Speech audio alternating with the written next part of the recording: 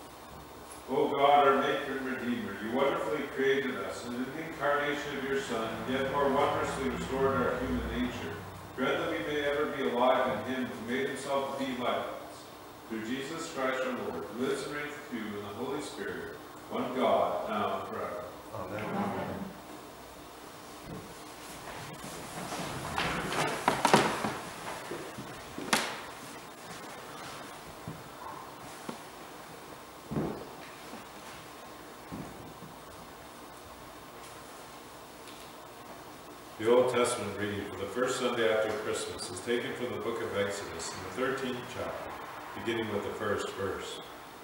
The Lord said to Moses, Consecrate to me all the firstborn, whatever is the first to open the womb among the people of Israel, both of man and of beast, is mine. Then Moses said to the people, Remember this day in which you came out from Egypt, out of the house of slavery, for by a strong hand the Lord brought you out from this place. When the Lord brings you into the land of the Canaanites, as he swore to you and your fathers, and shall give it to you, you shall set apart to the Lord all the first that opens the womb.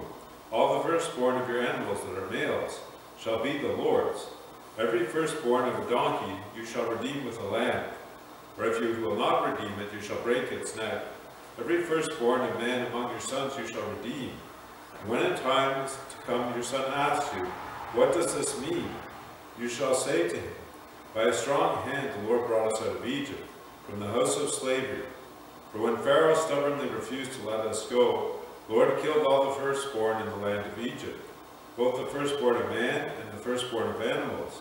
Therefore I sacrifice to the Lord all the males that first open the womb, but all the firstborn of my sons I redeem. This is the word of the Lord. Thanks be to God. Join in bringing the gradual song, 111th song.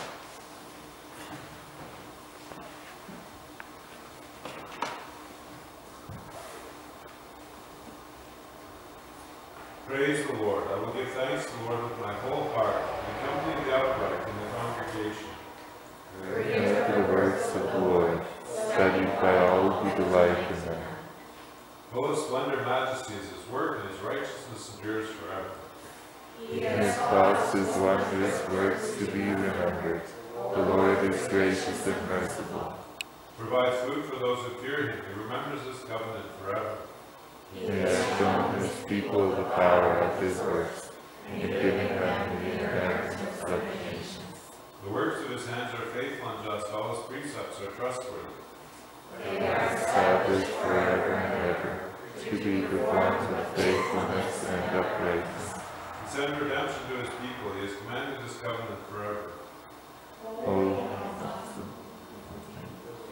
Fear Lord is the beginning of wisdom. All those who practice it have a good understanding. His praise endures forever. Be to the Father, and to the Son, and to the Holy Spirit, as it was in the beginning, is now, and will be forever. Amen. The epistle reading is taken from St. Paul's epistle to the Colossians, the third chapter, beginning with the twelfth verse. But on then as God's chosen ones, holy and beloved, compassion, kindness, humility, meekness, and patience, bearing with one another, and if one has a complaint against another, forgiving each other, as the Lord has forgiven you, so you also must forgive. And above all these put on love, which binds everything together in perfect harmony. Let the peace of Christ rule in your hearts, to which indeed you were called in one body, and be thankful. Let the word of Christ dwell richly in you, teaching and admonishing one another in all wisdom, singing psalms and hymns and spiritual songs, thankfulness in your hearts to God. And whatever you do in word or deed, do everything in the name of the Lord Jesus, giving thanks to God the Father through him. This is the word of the Lord. Thanks be to God. Please rise to read the Lord's Prayer.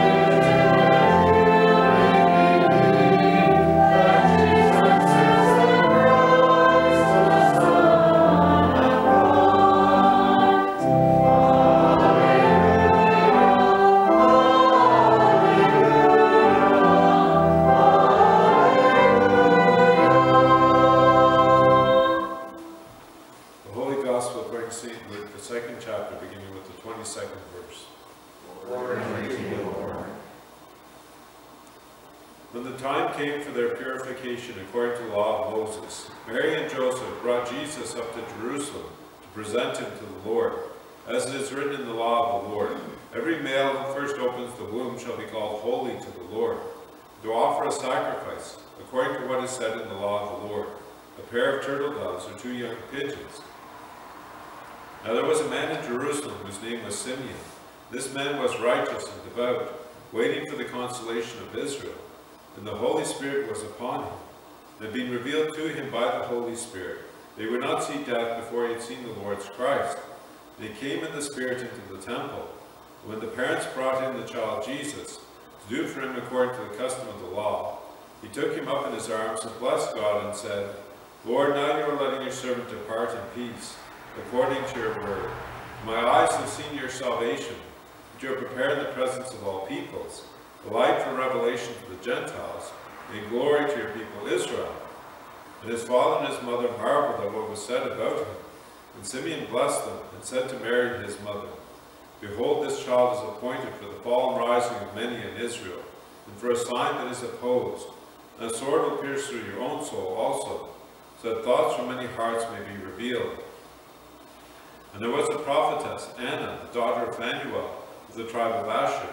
She was advanced in years, having lived with her husband seven years from when she was a virgin, then as a widow until she was 84. She did not depart from the temple, worshipping with fasting and prayer night and day. And coming up at that very hour, she began to give thanks to God and to speak of him to all who were waiting for the redemption of Jerusalem. When they had performed everything according to the law of the Lord, they returned into Galilee to their own town of Nazareth. The child grew and became strong, filled with wisdom, and the favor of God was upon him. This is the gospel of the Lord. Praise to you, Lord Christ.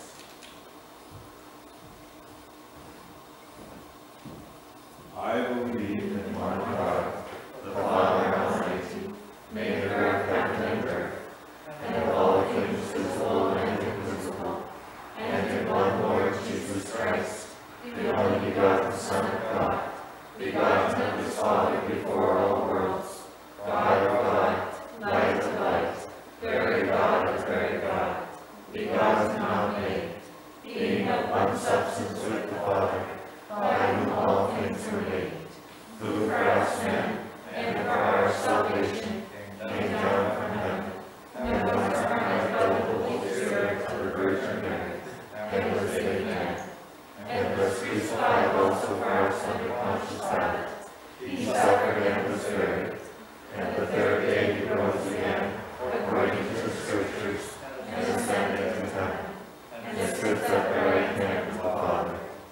he will come again with glory to judge both the living and the dead. His kingdom will have no end.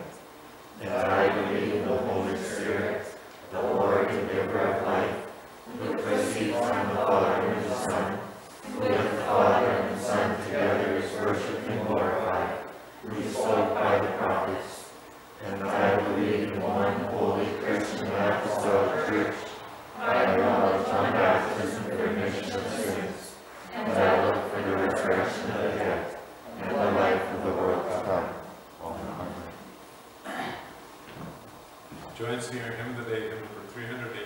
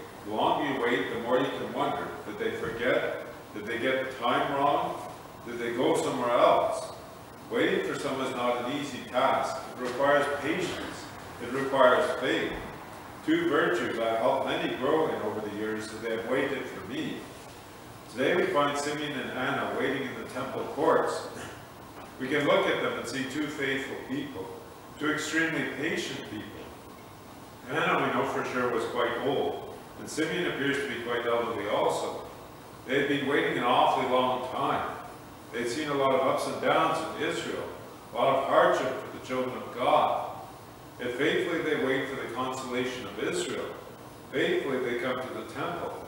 Anna spends her time night and day fasting and praying. Despite his growing years, Simeon believes that he will not die before he has seen the Lord's Christ. Despite all the reasons that Simeon and Anna had to doubt, despite all their hardships, their sorrow, Simeon and Anna remain faithful. Their time grows shorter, the graves are approaching, yet still they wait, not doubting, but believing. They wait for the Lord, they take heart, they are strong, and they wait for the Lord. Their faithfulness puts us to shame when we consider our own willingness to live life in readiness for our Lord's return. Simeon and Anna waited for the Lord, doing what the Lord had asked them to do. When we consider what St. Paul says God expects us to be doing until Christ's return, we see how unfaithful we truly can be. St. Paul tells us we are to spend our time clothed in compassion, kindness, humility, gentleness, and patience. He calls us to live in forgiveness toward one another. He tells us we are to put on love over all these things. He tells us to let the word of Christ dwell richly among us. Whatever we do, whether in word or deed, do it all in the name of the Lord Jesus, giving thanks to God the Father through him. Like Simeon and Anna, God wants us to live life with the coming of Jesus in mind. He wants us to live in patience. He wants us to live in faith, not doubting but believing that he's coming, and living life with that belief in mind. He wants us to live with the fruits of faith. God wants us for us, how is it possible? How can we live like Anna and Simeon? How can we live faithfully, fruitfully, in the way and only in the way that they did? Simeon and Anna weren't waiting in the temple in Jerusalem because they had more patience than anyone else. They weren't waiting because they were better than anyone else. Those Simeon and Anna were waiting because their loved one said he was coming. God's promise to Simeon kept him watchful and waiting. God's word kept Anna expecting the arrival of Christ. Simeon and Anna didn't make their own faith. They didn't choose to have it. God created their faith through his promises to them. And indeed, dear brothers and sisters in Christ, our Lord is at work this day to create such faith in our hearts too. He sets his word before us today to nourish and strengthen the faith that he gave to us in holy baptism. On that glorious day, God promised that he, we would not die before we saw the consolation of Israel. He promised us that Jesus Christ had taken up our sins upon the cross and paid for them all. He promised us that the blood of Christ covered all our sins. He promised us that he clothed us in the righteousness of Christ. He promised us that we will not be lost to death, that our Lord will come and take us, that where he is we may be also. He promised us that as our eyes close upon the sorrow of this world, they will open up to gaze upon the glorious face of Christ. Today God confirms that promise. God sets his word before us to keep us faithful. He shows us that in the fullness of time he keeps his promises. He shows us Mary and Joseph bringing their baby Jesus to the temple. Reveals through Simeon and Anna that this child is the Christ. He proclaims that Christ is his salvation, which he has prepared in the sight of all people. He is a salvation prepared for us. God sets this man and this woman of the tribe of Israel as witnesses to us that Jesus, the son of Mary, was indeed the Son of God, the promised Savior. And then God shows us Jesus being presented at the temple. He shows us Mary and Joseph doing all that the law required. He shows us Jesus being placed under the law that he might redeem those born under the law, that they might receive adoption as sons. He shows us Jesus fulfilling the law for us, that he might go on to the cross and die for our sins and earn our salvation. The time is long, the waiting is hard. Our Lord is here today in his word, and his word made flesh, to set before you his promises, to give you forgiveness, life, and salvation, to sustain and uphold what he gave you in holy baptism, to keep you faithful, to make you fruitful, as you await the final return of the consolation of Israel, your Lord and Savior, Jesus Christ. And may the peace of God, which surpasses all understanding, keep your hearts and your minds in Christ Jesus, in life everlasting. Please rise.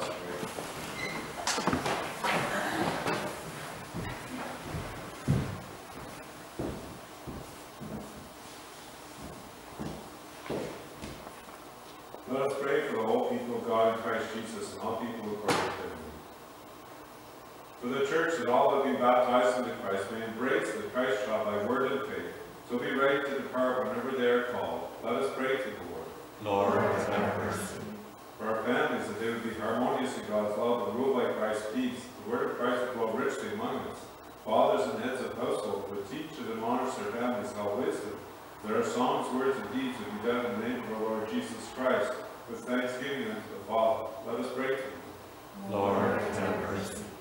For delight in the fear of the Lord, that we may entrust ourselves only to Christ, who alone judges all matters in equity and righteousness. For princes and leaders of this world, who must judge by what they see and hear, they would be blessed with health and wisdom, and for discernment that we may honor them before the Lord. Let us pray to the Lord. Lord, have mercy. For the sick and suffering, especially those who desire our prayers, our brothers and sisters, Jane, Leon, Lars, Dave, Nancy, Barb, Lori, Eric, Debbie, Betty, Ron, Janelle, Faye, and all others who suffer in our midst. That according to God's gracious will, they would be healed. And for those who mourn, remembering especially that family of Annette, that God would fill their hearts with a certain hope of the resurrection. Let us pray to the Lord. Lord, have mercy. For those who commune this day, that they would see their salvation in the very body and blood of Christ, given them to eat and drink, and thus with Simeon be prepared to depart in peace. Let us pray to the Lord. Lord, have mercy. In thanksgiving for our brothers and sisters who have departed in peace of faith, that with them we may behold the light of the nation, and the glory of Israel, and eternal life. Let us pray to the Lord. Lord, have mercy. Into your hands, dear Father, commit all for which we pray, trusting your mercy through Jesus Christ, your Son, our Lord, who lives and reigns with you in the Holy Spirit, one God, now and forever. Amen. May we see as we present our offering.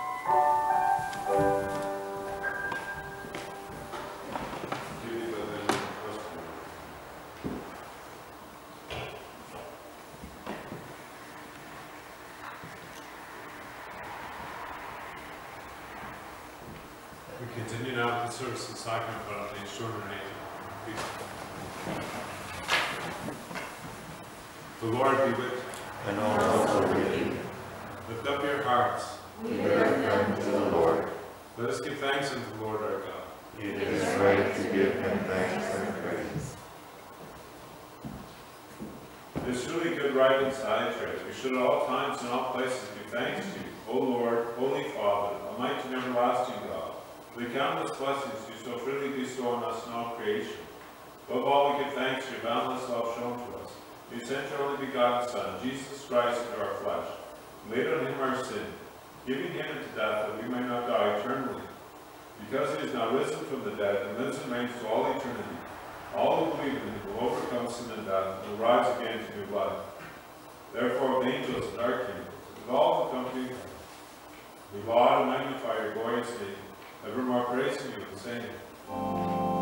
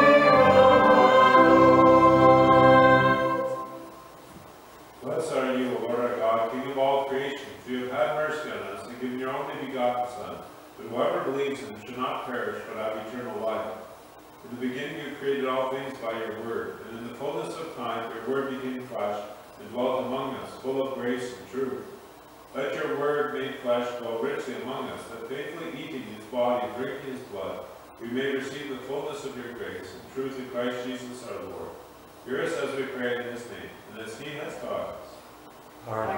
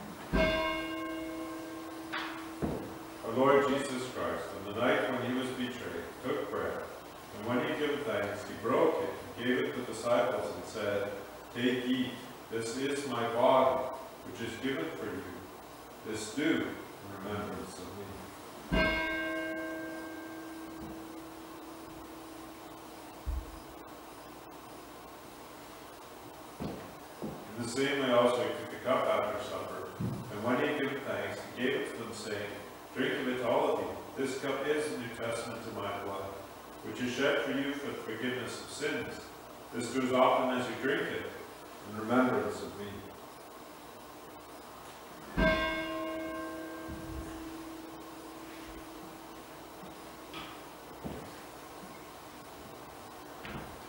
The peace of the Lord be with you all.